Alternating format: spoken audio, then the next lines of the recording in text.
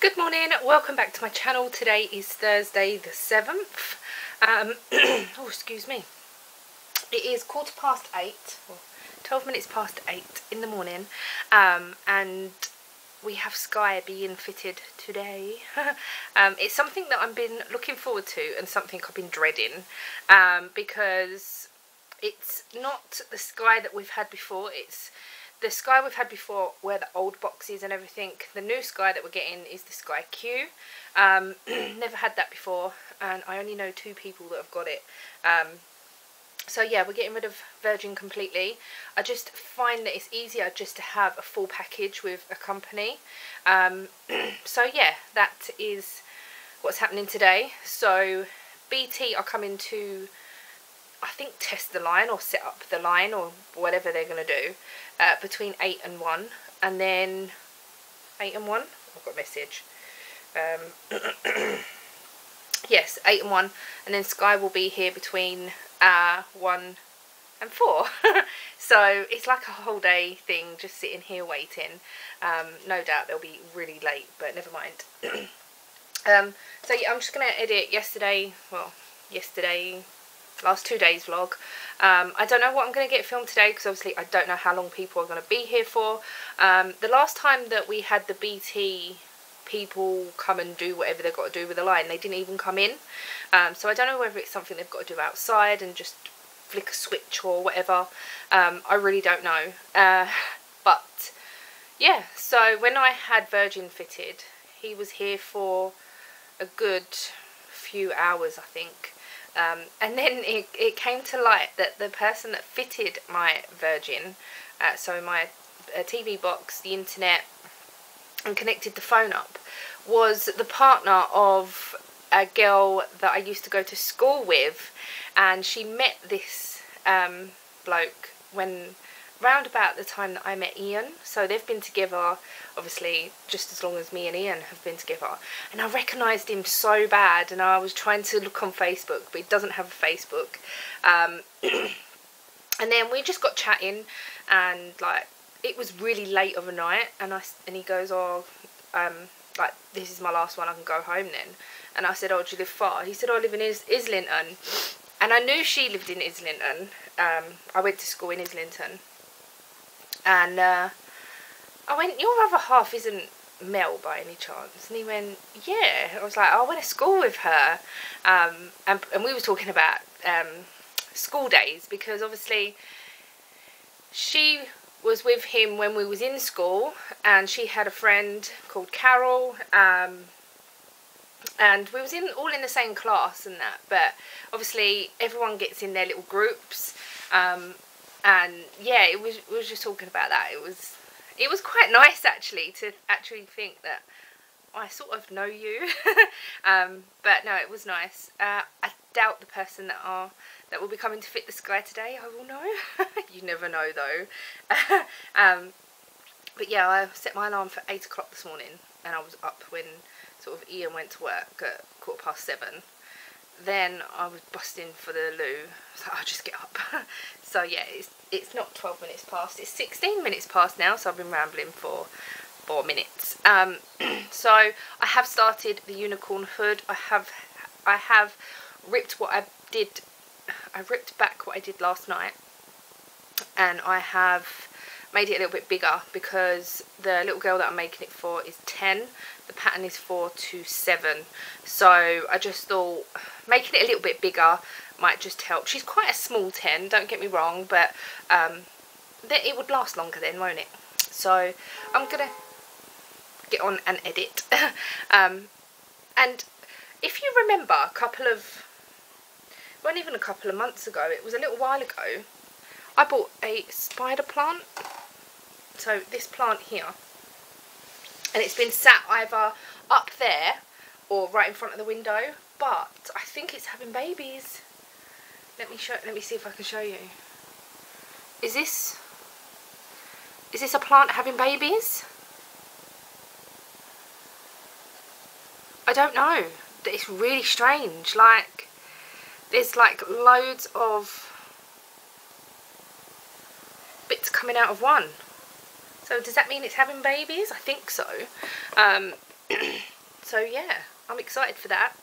I don't know why. My plant's having babies, I think. What new shoots? I don't know. um, might have to ask Tina because she's actually got one. And she did mention the other day, because she's had hers for quite a while. I think um, she got it in the spring or just when it was coming up to summer before I went on holiday. And um, hers, she said, oh, mine, mine hasn't had babies yet. So I'm just assuming that that is what that is. anyway, I'm going to stop rambling about plants. I'm going to go and edit my video. Oh, I thought there was a spider. There's no spider. I'm using my ring light to see if that helps because it's super dark. Uh, ridiculous. Like, yeah, if I didn't have the light on it would be pitch black in here. Um, I'm going to edit and shut up and go. So, I don't know what I'm going to update you with today. We'll just have to wait and see and go from there. So just a quick follow on from yesterday. Um, I've just edited my video and we did put everything in the loft. We also put that big unit that was here in the loft as well. So that has given us so much more room. Um, yeah, so everything was in the loft. Now everything that was in the hallway is in the bedroom. Which we'll come back in it eventually, obviously. But it's all Ian's um, bits for the car or the engine. Um, but he doesn't want to take them to the garage yet because he's not really ready for them parts. If that makes any sense. Um, but yeah, I just thought I'd quickly update you on that because I just sort of didn't even say anything after it at all yesterday. Um, but yeah, so literally here is the floor here, so it's a lot tidier. There's just a lot of yarn there. Over in the corner, um, this is the ball of wool that I bought um, the other day.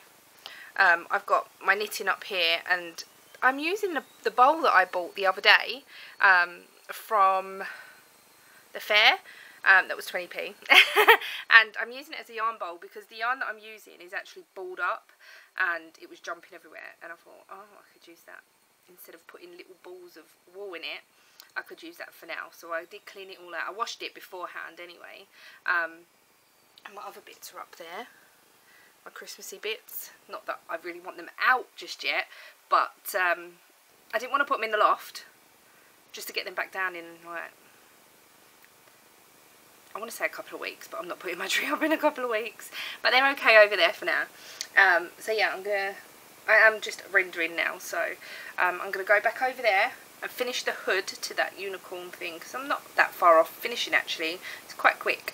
Um, and I think that I want to do some things that are instant gratification uh, as I have been doing a lot of um, big projects lately like the cardigan for Mikey which was not big but it wasn't small either. Um, it was quick don't get me wrong.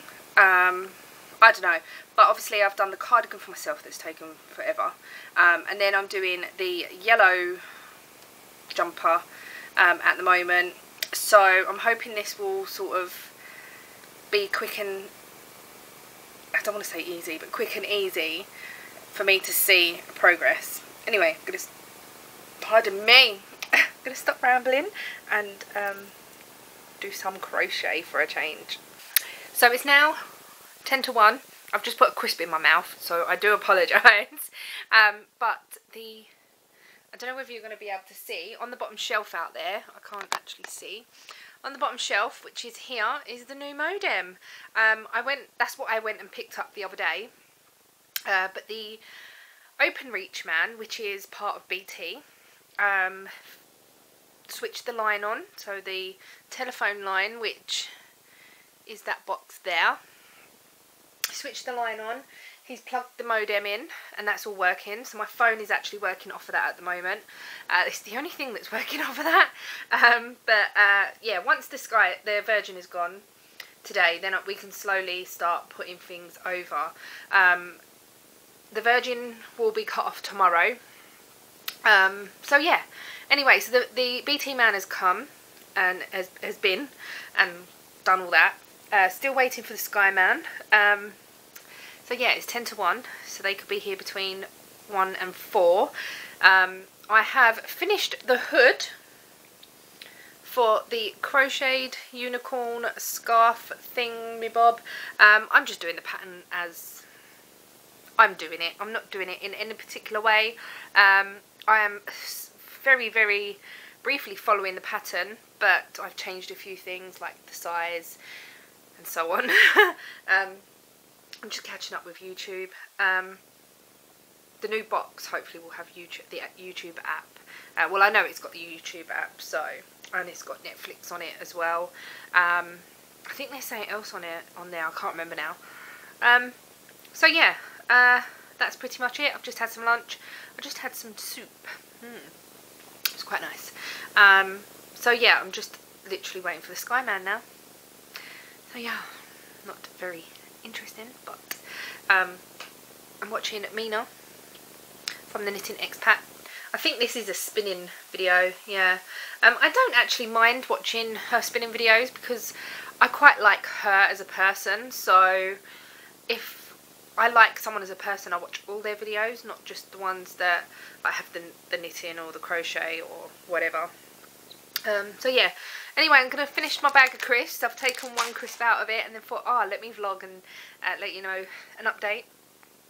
Um, I don't know whether I'm eating whether I'm meeting Ian a bit later at the garage but then again it all depends on what time all this here is finished but uh, yeah also I've been watching Kelly and she's given me so many ideas Kelly has just put a video up on her channel which is crafted by Kelly and then a X.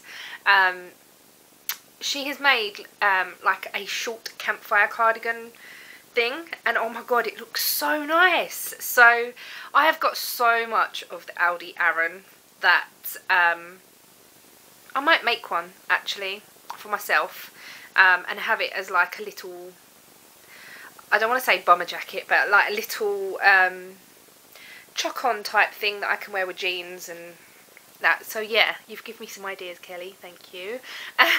Even though I've got so many other things that I need to do, I had someone message me last night. Um, one of the uh, Team Waffle lot um, asked me if I could um, do a doggy coat. Uh, but she's going to send me the the size of the dog and whatever, and then um, I'll just got to get back to her with a price. And yeah, that's my mum. So I'll speak to you later.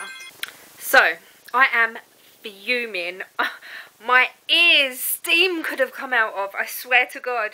So, Sky turned up at 10 past 1. It's now half past 3. Um, the engineer refused to do the work uh, because he was saying that the... Let me just turn this on to make sure it doesn't go blurry. Um, he refused to do the work because he couldn't get to the sky dish even though I've explained to him that people have got to the sky dish before there's not been a problem blah blah blah blah blah. He's saying no. Um, I was fuming. So there was two of them. So they quickly came in. I explained to him about the wire in the wall um, and he didn't really listen to me anyway. So he went downstairs with the other gentleman um, I want to call them gentlemen. They weren't gentlemen at all because they just did not listen to a word I said. Um, then one of them come back and said, oh, we can't do the work. And I said, what do you mean? He said, well, we can't get to the sky dish that's already there. I said, well, people have got to that sky dish before. Yes, but there's a bush in the way. Right. Was that bush there before the sky dish went up? I was like, yeah, that bush has been there since the building's been here. And that sky dish has not been up since the building's been here. Anyway, fuming, fuming, fuming. Um, so this morning BT came and fitted the, the broadband and the phone. So I said to the bloke, I said, well, what do I do about sending the equipment back then? He said, um, well, we'll cancel this job, and if you want to um, cancel the broadband and phone, then you just got to ring Sky. Okay, that's fine. My Virgin doesn't cut off until tomorrow, so I've done that. Uh, no, so, yeah. So I rang Sky and I said, well, I want to cancel. I said, because um, the bloke reckons that he can't get to the Sky dish. It's about eight foot off the ground. Um, and there's a bush in the way, which there isn't really, there is a bush there, but there is room to get around the bush. Anyway, if I go downstairs later, I'll show you if I remember. Um, so yeah, anyway, he's so the woman that I spoke to said, "Oh, there's a special access team that can come out and um, try and get to it for you. Okay, that's that's great. Got cut off. Had to ring back.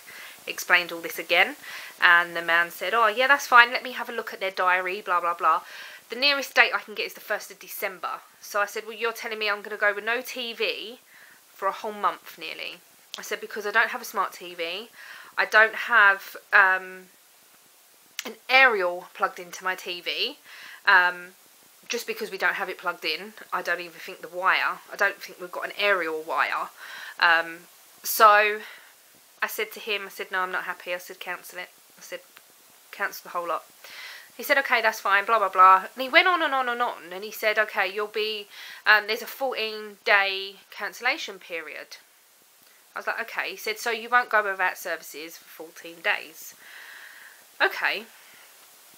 I then rang Virgin, got off the phone, he cancelled it and done everything.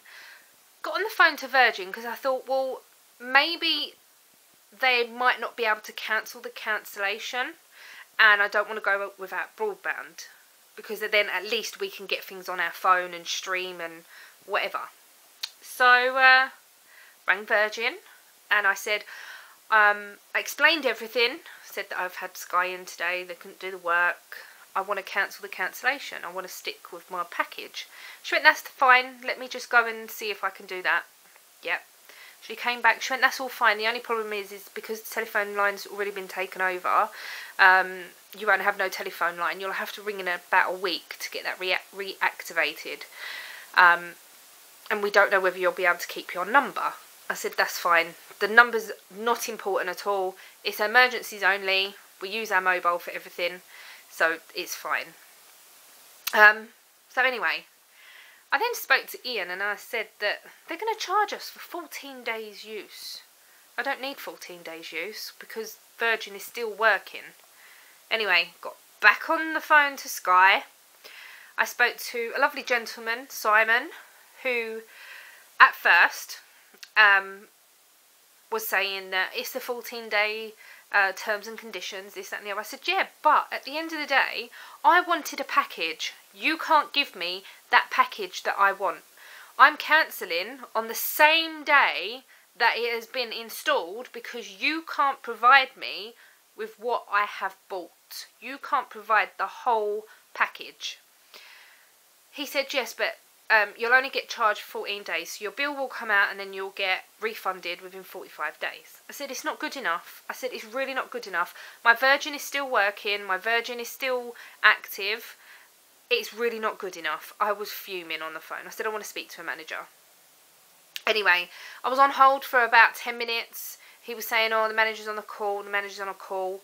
Anyway, in the end, he came back to me. He said, look, because the manager's still on a call, I've escalated this further myself, um, and I have give you a credit for what you would have been charged um, for the 14 days. So on your next bill, um, you can either cancel it with the bank or pay it and then get a full refund, um, but you will get a full credit. You won't have to pay anything. So in the end, thing, thumbs up because I haven't got to pay anything to Sky for not having their services. I said, I'm not being funny. I've had your services for five minutes. Like, he said, the only way that you could um, cancel and not pay is if you cancelled straight away when the engineer was still here.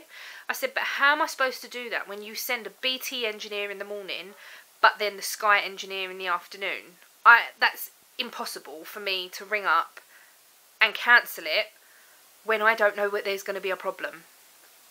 Also, I have suggested to them, they're not going to take no notice of me, I've suggested to them that maybe they get an engineer round before the installation day to see if they need a special access team um, or what they need to put a dish up or whatever. Nine times out of ten it's probably simple. This seems simple to me, but obviously not. It's health and safety gone mad. Um, I'm just fuming. I'm really, really angry. Um, I'm just a bit fed up. I just, oh, yeah, I'm done. So it's 20 to 4. I really need to go and um, go Tesco and get some bits. And I don't know whether I'm meeting Ian at the garage. I don't know. I'll probably just sit here and chill with a, Oh, I hot drink or something. So I did all that tidying up yesterday, moving everything out of the way for nothing. I'm so angry. uh, but I said to Ian, maybe in the new year that we will ring Sky again and I will explain exactly what we need. So we need the special access team to come out and put a new dish up for us because the normal engineers are invalids. um, I did actually say to the lady on the phone the first time, was it the first? The second? Whatever time it was. Um, the lazy engineer, she went, we do have some good engineers as well. I said, yeah, I know that. I said, these ones were lazy. They just did not want to do the job, I don't think. Um, he came up here, and when he was in here, he said, oh, it's on the third floor. And you think, yeah. It's not really on the third floor, it's the second floor, because you've got ground one and two. We're at the top. Um, you've got big ladders on your van. You've got two vans with loads of big ladders on the top. Anyway, I'm really, really going on now. I've been rambling for eight and a half minutes about this. Um, so yeah, I apologise. Anyway, I'm going to go and um, calm, chill. So we're back with Virgin. We've got Virgin. Um, yeah. oh my god. Yeah, anyway, that's that. I'll catch you up in a bit. So it's much later, half past seven, and blurry. um, I've been to the garage and I've met Ian. Um, I took some bits that came in the post for him. Uh, I've been to Tesco and I just, I needed just silly things like deodorant and Ian needed like breakfast bars and things. Um, so I went to Tesco, come home, had a bath, had a hair wash. Um, I just can't be bothered to do anything with it, so I've just sort of clipped it up and hope for the best. Uh, I'll straighten it tomorrow and do whatever. But uh, yeah, I've been a terrible vlogger, and I think today has just been, um, I don't want to say an emotional one because not a, like a sad emotional, but angry emotional because of what's happened with the sky and things.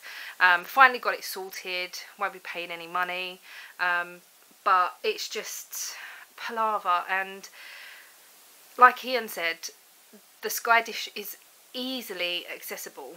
Anyway, I didn't get a picture of it. I didn't take you. I didn't take the camera out with me because I knew I was only quickly popping here, there, and whatever. Um, I it's only half past seven, so I might come on a bit later to show you any progress that I've done. But I have got the hood for um, the unicorn thing. I'm sure I'm sure I've I am sure I have shown you that. Um, and I might work a bit on my socks tonight as well. Um, so yeah, and I am using this yarn bowl as um, a bit of a project bowl, which is working pretty good. Um, I have all the rest of the wall behind me. Uh, so uh, I've just got dinner on, Ian's on his way home and yeah that's pretty much it so I'll probably catch you up a little bit later with any progress that I've got. So it's now half past ten and I haven't really done any more than earlier on. um, I have spoken to um, the little girl that wants this and she wanted black ears so I have done two black ears and she don't want she don't really want it to look like a unicorn. Uh, she don't want the mane and she don't want the horn. So I'm just going to um, do the scarf with the pockets striped in pink and the cream colour like this. And then yeah sew it all together. So it's going to take a lot less time than I actually thought it was going to.